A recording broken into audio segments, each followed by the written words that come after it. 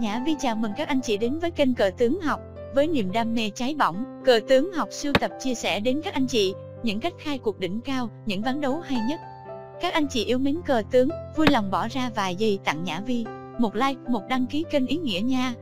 Nhã Vi cảm ơn anh chị rất nhiều, mời các anh chị cùng thưởng thức.